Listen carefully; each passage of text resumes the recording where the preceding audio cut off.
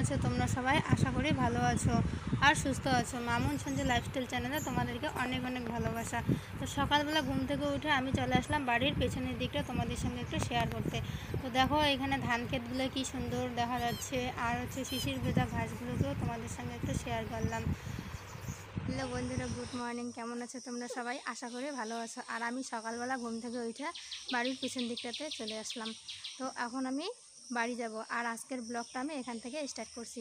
তো তোমরা ভিডিওটা দেখতে থাকো। তো এখন আমি চলে আসলাম বাড়িতে। আর বাড়িতে আইসা কতগুলো জামা কাপড় ধুয়ে দিলাম, আর ওগুলাকে এখন আমি আড়ের মধ্যে লাড়বো।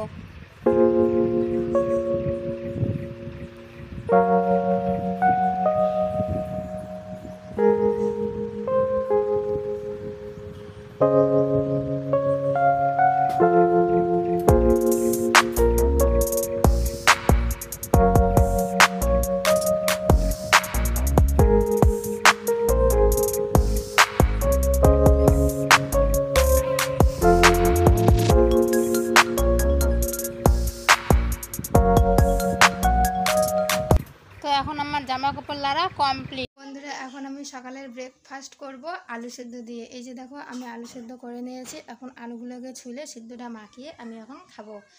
চলো আগে ভাতটা খেয়ে নিই। আমারও খাওয়া কমপ্লিট আর সায়নেরও এদিকে খাওয়া কমপ্লিট তো এখন আমি সায়নকে স্নান করায় দিব। আরও একদম জলের মধ্যে একদম শরীরটা ভেজাচ্ছে। তো ও স্নান করতে কিন্তু খুবই ভালোবাসে। আর মুখের মধ্যে সাবান লাগলেই ও একদম চিল্লানি শুরু করবে খাবারটাকে মাথায় নিতেছে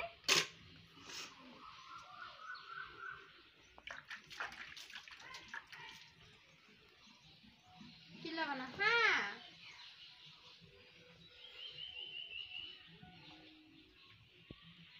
এদিকে আসো। মুখে দিব না তো। মুখে আগে দিব না, আগে শরীরে দিব, তারপর মুখে দিব।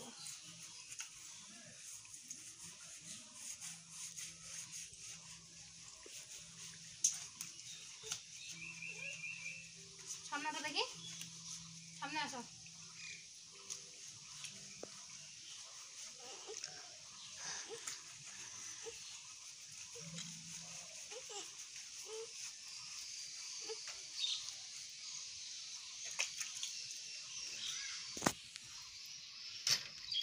ব্যথা বাবা। এখন মুখটাতে দিয়ে দিব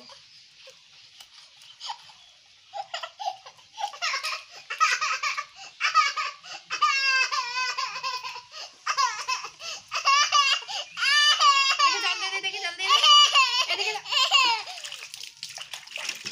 লাগবে না তো এদিকে হুম। তোকে লাগছে হ্যাঁ তাহলে চিল্লাইতেছ যে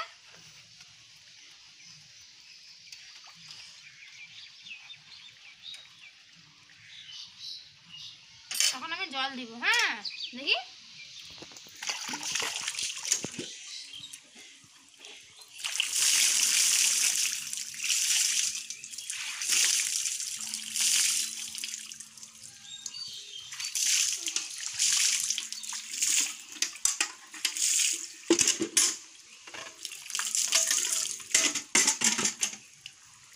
এখন আমার সোনা বাবার সান কমপ্লিট তো সায়নের সান কমপ্লিট করে এখন আমরা যাচ্ছি সেন্টারে। তো দেখো, সায়ন সেন্টারে যাওয়ার জন্য একদম পাগল হয়ে গেছে। তো দেখো, ও একদম হাটের মধ্যে মিল্কে নিয়ে ও আগে আগে যাইতেছে। তো চলো, এখন আমরা সেন্টারে যাচ্ছি।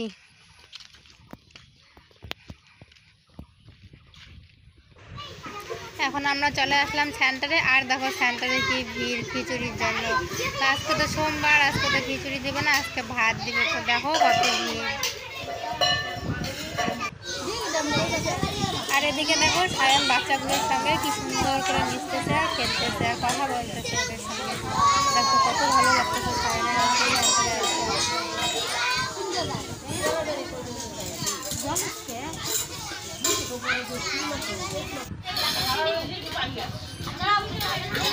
ভাত হয়ে গেছে, এখন দেখো ভাত দিতেছে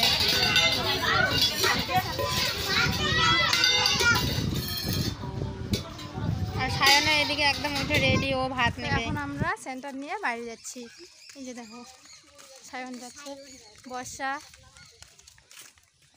আর এই যে এখানে আমি সেন্টারে ভাত নিয়ে নিয়েছি আর বাড়িতে গিয়ে সায়নকে খাওয়াবো।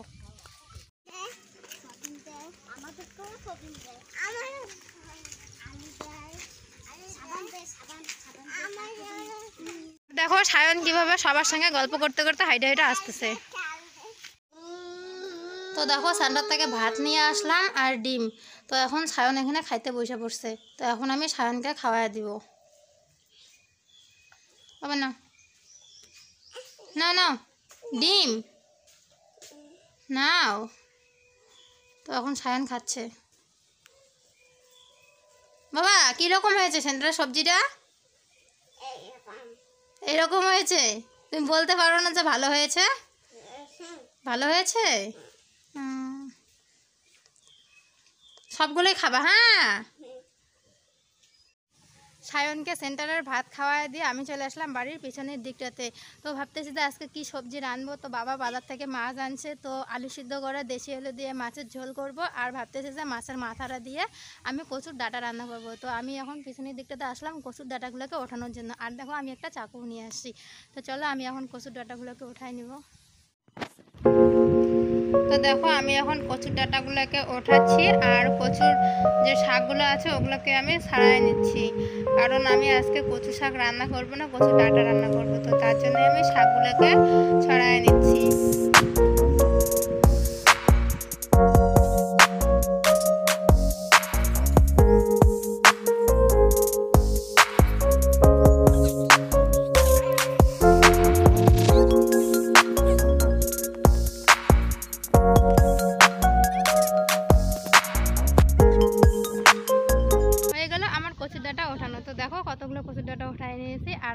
চারটা মানুষ খাব তো, এগুলাই হয়ে যাবে। তো এখন আমি বাড়িতে গিয়ে এগুলোকে কাটবো। আর দেখো, এমন হাওয়া উঠছে তো, মাথার চুলগুলো একদম আমার পাগল হয়ে গেছে। তো এখন আমি যাচ্ছি বাড়িতে, আর বাড়িতে গিয়ে এগুলোকে কাটবো। তো চলো। এখন আমি চলে আসলাম বাড়িতে, আর বাড়িতে এসে এখন আমি কচু ডাঁটাগুলোকে কাটবো। আর কচুর যে আঁশগুলো আছে, ওগুলোকে আমি ছড়াই নিব। কারণ আঁশগুলো থাকলে রান্নাগুলো ভালো হয় না, আর খেতেও ভালো লাগে না আঁশগুলোকে। আঁশ আঁশ লাগে। তো তার জন্য আমি আঁশগুলোকে ছড়াই নিচ্ছি। তো তোমরা চাইলে আঁশগুলোকে ছড়া নাও নিতে পারো। আর সায়নকে কিন্তু আমি কাকিদের বাড়িতে পাঠিয়ে দিছি। কারণ আমি যখন কচু শাক কাটবো, তো তখন কিন্তু ও বারবার এদিকে ঘুরপাক করবে। আর ও যদি হাত দিয়ে ধরে, তাহলে তো ওর হাত জ্বলবে আর হাত চুলকাবে। তো তার জন্য আমি ওকে কাকিদের বাড়িতে দিয়ে আসছি। তারপর আমি এখন এখানে কচু শাক, কচু ডাঁটাগুলোকে কাটতেছি। আর কচু ডাঁটা খাওয়া কিন্তু শরীরের পক্ষে খুবই ভালো। কারণ ডাক্তার দেখালে ডাক্তারও বলে যে সবুজ শাক কচু শাক এগুলা খাইতে, তো তোমরাও খাবা। আর কচু শাকের মধ্যে কিন্তু পুরা ঝাল দিতে লাগে, কারণ ঝাল না দিলে মুখে লাগে একদম। তো ঝালটাই হচ্ছে কিন্তু মেন তো আমার শাকগুলো কচু ডাঁটাগুলো কাটা হয়ে গেল, তো এখন আমি এগুলোকে নিয়ে কলপারে যাব আর ভালো করে ধুয়ে নিব। তো দেখো, এখন আমার কাটা হয়ে গেছে। এখন আমি সবজিগুলোকে বালতির মধ্যে, জলের মধ্যে ধুয়ে নিব। তো দেখো, বালতির মধ্যে আমি জল উঠায় নিয়েছি আর এইখান থেকে আমি ঢালে দিতেছি। আর দেখো, আমি কাটা কাটা থালাটা নিয়ে নিয়েছি, কারণ আমি এগুলোকে হাত দিয়ে ধরবো না। যদি আমি হাত দিয়ে ধরি, তাহলে আমার হাতের অবস্থা একদম শেষ হয়ে যাবে। তো দেখো, আমার হাতের অবস্থা তো এমনিতে শেষ হয়ে গেছেই, একদম কালো কালো হয়ে গেছে। তো এগুলোকে এখন আমি এখানে ঢালে দিব। তার জন্য আমি এই কাটা কাটা থালাটাকে নিয়ে নিয়েছি যাতে জলগুলো ফুটে দিয়ে বার হয়ে যায় যেতে পারে।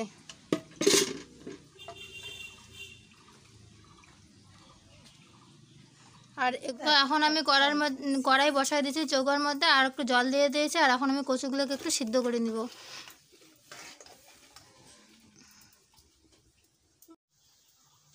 আর কচুগুলোর মধ্যে একটু লবণ দিয়ে আমি কচুগুলোকে ঢেকে দিয়ে দেবো।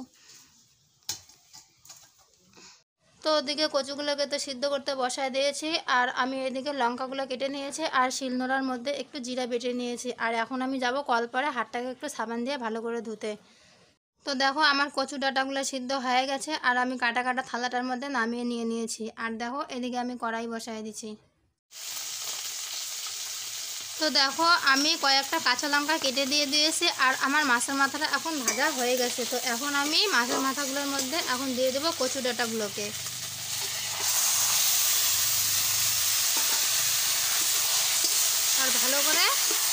করে নিব মাছের মাথাটার সঙ্গে।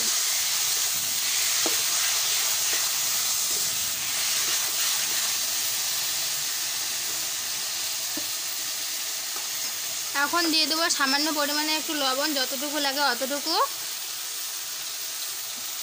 আর দেবো একটু হলুদ।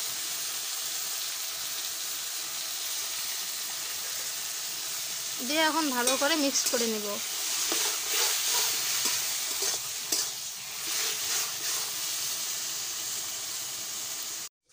ওইদিকে কচুর ডাটা সবজি হইতেছে, আর এদিকে দেখো আমি আগেই মাছের ঝোলটা রেঁধে নিয়েছি। তো দেখো এই যে মাছের ঝোল, দেশি আলু দিয়ে আমি রেঁধে নিয়েছি, এই যে দেখতে পাচ্তেছ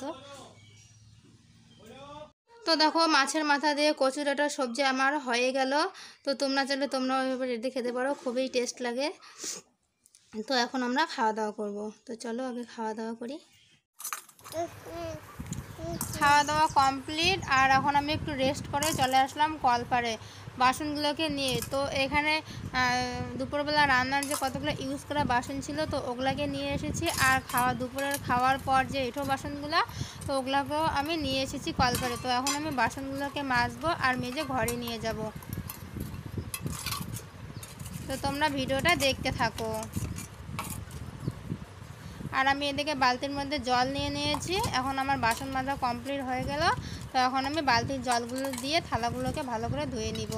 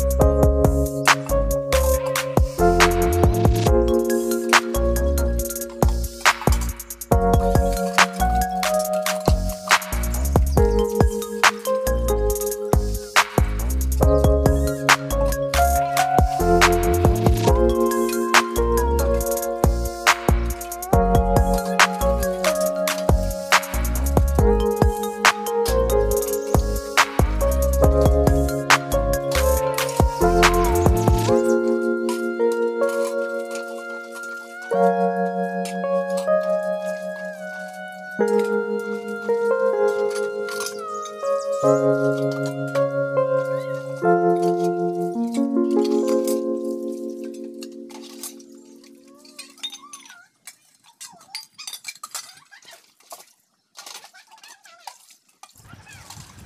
আমার বাসনগুলো মাজা কমপ্লিট আর এখন আমি যাব ঘরে।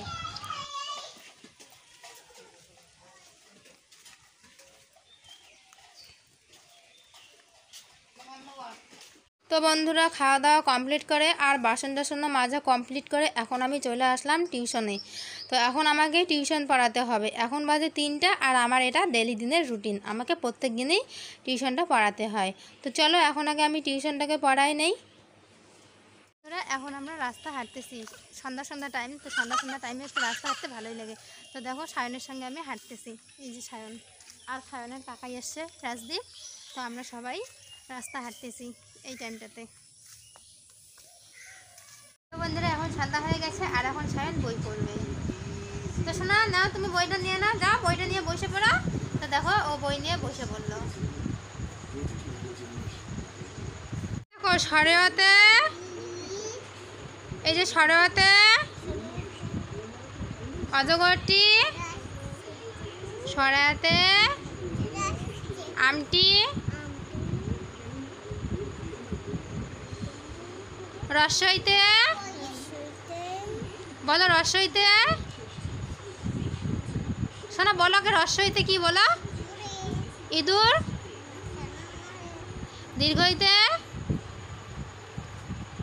তো এদিকে এখন তুমি এগুলা পড়ো আগে, দেখো। এসে পশুর নামগুলো আগে একবার পড়ে নাও, এদিকে আসো এদিকে আসো। ওটা না তো এখন, আগে এটাকে পড়ে নাও। বলো কাউ মানে? ডগ মানে? ক্যাট মানে? গোট মানে? র্যাবিট মানে? র্যাবিট মানে? বলো তাড়াতাড়ি। তুমি ভালো ছেলে তো, বলো তাড়াতাড়ি র্যাবিট মানে কি? ফাদার মানে কি বলো? বলো তাড়াতাড়ি বলো। তো দেখো, এদিকে ওর ওই যে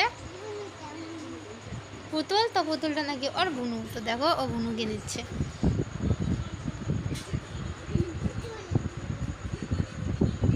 বুনুকে কোলে নাও তো। এটা কে তোমার? এটা কে? আর দেখো এদিকে মিষ্টু আসছে, তো ও মিষ্টুর সঙ্গেও খেলতেছে। আর দেখো, একটু বইও পড়ে নিল। বন্ধুরা, এখন রাত হয়ে আসলো, আর এদিকে সায়ন খুব দুষ্টমি করতেছে। আর মিষ্টু আসছে, তো মিষ্টির জন্য সায়ন আরও বেশি তো এখন আমি ওকে পড়াবো। আর দুপুরবেলা আমি যা রান্না করেছি ওগুলো দিয়ে খাওয়া দাওয়া করব। তো এখন আর আমি রান্না করব না, আর আমার ভিডিওগুলোকে একটু এডিট করতে হবে। তো আমি এখন ভিডিওগুলোকে এডিট করব। তো ভিডিওটাকে এখানেই এডিট করছি। আর আমার ভিডিওটা যদি তোমাদের ভালো লেগে থাকে, তাহলে অবশ্যই একটা লাইক কমেন্ট শেয়ার আর চ্যানেলটাকে সাবস্ক্রাইব করবে আর পাশে থাকা বেল আইকনটি ক্লিক করে অল নোটিফিকেশনটি অন করে দিবে। তো বন্ধুরা, দেখা হচ্ছে পরের নতুন কোনো ভিডিওতে। আর ততক্ষণে তোমার তোমরা আমার এই ভিডিওটা এনজয় করো। তো এর পরের দিন থেকে আমার ভিডিও আপলোড হবে বারোটার দিকে।